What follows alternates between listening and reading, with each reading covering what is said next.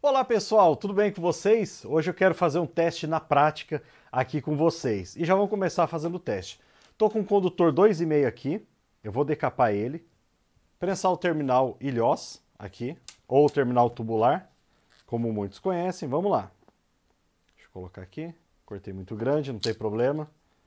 Vamos crimpar com o alicate para crimpar esse terminal. Então, estamos aqui, ó.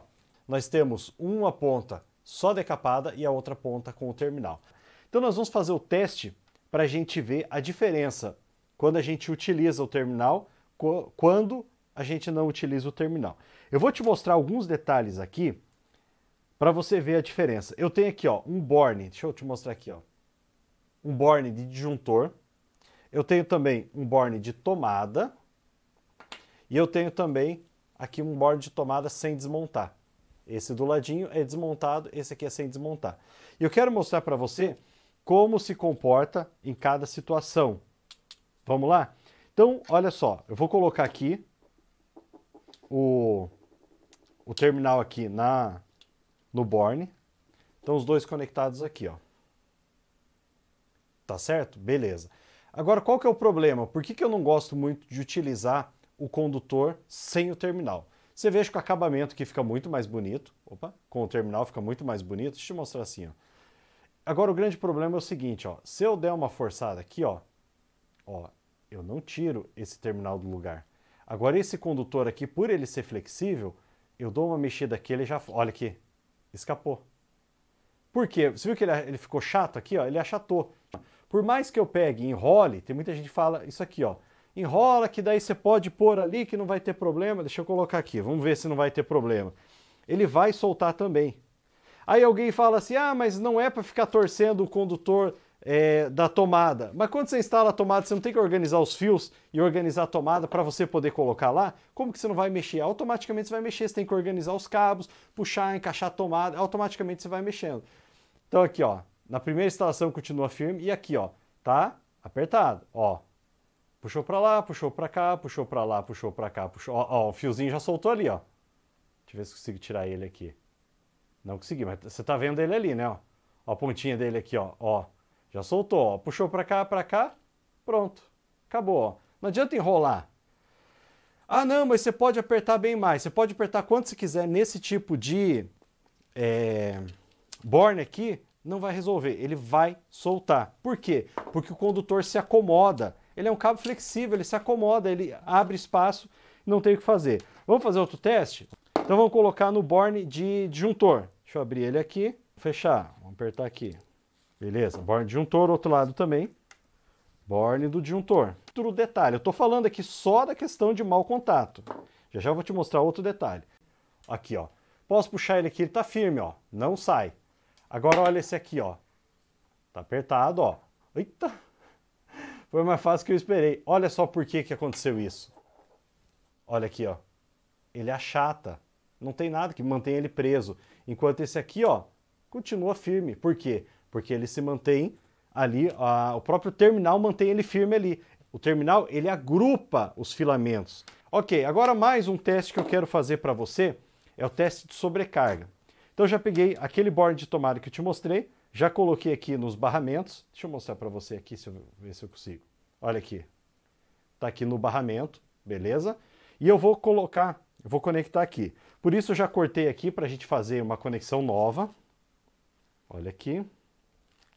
E nós vamos colocar como se fosse num borne de tomada. Agora aqui, ó, nós temos a tomada, o borne de tomada. Você note que aqui o condutor está um pouquinho para fora, mas isso é normal. Nas tomadas acontece isso mas como o borne é fechado, você não percebe. Mas ó, é o mesmo borne. Então isso aqui acontece nas tomadas quando você aperta ela.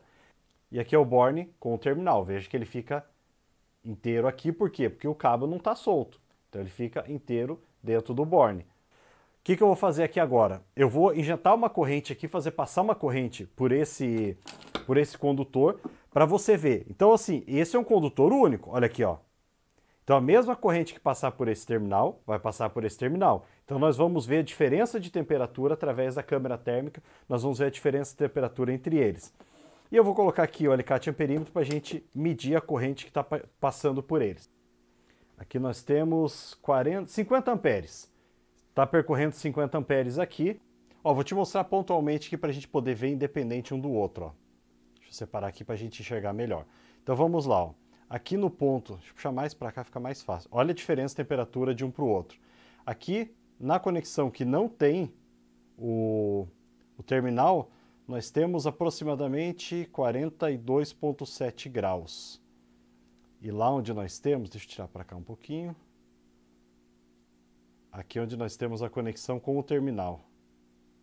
Vamos ver aqui, 34, 35 graus. Então olha a diferença. Então você viu só como é importante a gente entender por que, que a gente utiliza os terminais. Faz muitos anos que eu venho falando, precisa utilizar terminal, é bom utilizar terminal e Olha só, agora a gente podendo testar isso aqui na prática e mostrar para você que realmente é muito importante a gente utilizar terminal.